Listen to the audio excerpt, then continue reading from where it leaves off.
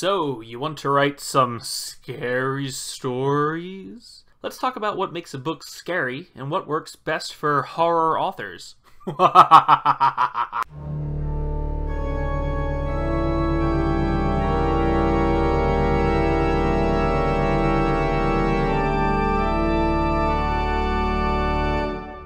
Horror is really an art form when on the printed page. Us novel writers are up to a higher challenge than most other mediums. Video games put you in the character, and you can trick players into thinking that they are actually in danger and elicit real terror.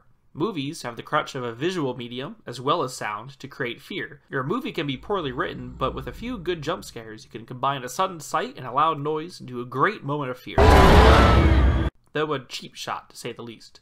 Book writers have it the hardest. We don't have the crutch of a creepy soundtrack or immersive gameplay or an entity that is scary to look at on screen. We have to entirely rely on the words on the page to scare our readers, which is why horror can be one of the greatest and hardest forms for books specifically. So, in writing, what are the best ways to create fear? Fear is a primitive reaction, feelings that are ingrained into our very survival. Our minds are trained to fight or flight from certain scenarios whether we like it or not because that is what made our ancestors survive. Most stories rely on these primitive reflexes to scare the reader, or at least set the scene and make the reader more uncomfortable. Perhaps easier than thinking, what is scary, think of what makes us feel safe, then take that away. For instance, we practice safety in numbers. Being surrounded by people gives us a sense of security. That's why most horror stories immediately open up with the main character or characters being put in a position of solitude. The lakeside house in the middle of the woods with no phone, space, in a basement. We feel weaker when we are alone because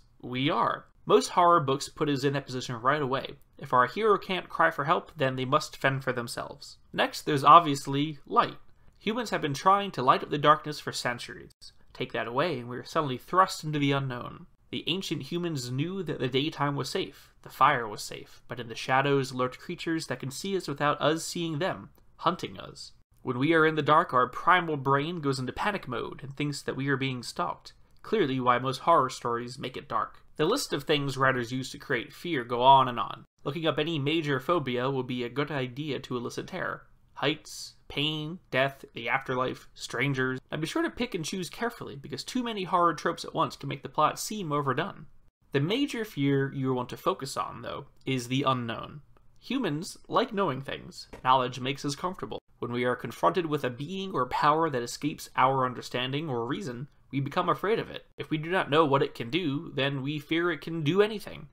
H.P. Lovecraft said it best The oldest and strongest emotion of mankind is fear. The oldest and strongest kind of fear is fear of the unknown. Most monsters or ghost movies use the fear of the unknown, or at least they start that way. The characters are up against something they have never seen before, and then, when the characters figure out the weakness or origin of the being, once they actually understand it, it is no longer unknown, and it's no longer scary, then it's defeated. If there is a story where the characters never figure out what they are up against, assume there's going to be a sequel. Now we need to go beyond creating just a scary setting. In writing on the page alone, we need to be on the next level with our work because books are at a horror disadvantage. The most direct way for a reader to experience fear is by having them connect with the main character. As we went over in previous episodes, the main character is a stand in for the reader. Take time at the beginning of your book to have the audience connect and relate to the main character before throwing them to the wolves. The reader will care for them and relate to them, and then, when you put that character in a scary place with a scary monster, the reader will think, oh my god, what if that was me? And then they start feeling personal fear, rather than thinking, huh, must suck to be them. Stephen King, the master of writing horror, goes even further and defines terror in three different styles. The gross out, the sight of a severed head tumbling down a flight of stairs, is when the lights go out and something green and slimy splatters against your arm. The horror, the unnatural, spiders the size of bears, the dead waking up and walking around. It's when the lights go out and something with claws grabs you by the arm. And the last and worst one, terror, when you come home and notice everything you own has been taken away and replaced by an exact substitute. So when the lights go out and you feel something behind you, you hear it, you feel its breath against your ear, but when you turn around, there's nothing there. The point he's making is, all three are viable, but some of them are easier to pull off. Anyone can describe something gross or a detail something unnatural, but the real terror is something that we don't understand, a force we can't wrap our minds around but are forced to combat with. You can use all three types, but terror and use of the unknown are the most powerful, while being the most challenging to write. Great horror is also about knowing how to build suspense. Create the anticipation of fear, rather than just the scary thing happening. Listening to a person getting killed is scary, it can even be gruesome, but it's more effective when you relate to the character and some suspense is built. Let's say you're a prisoner in a cell, wrongfully accused, of course, because you're relatable, and you can hear a guard who has lost his mind going cell by cell, opening up and murdering the other inmates. You can hear it.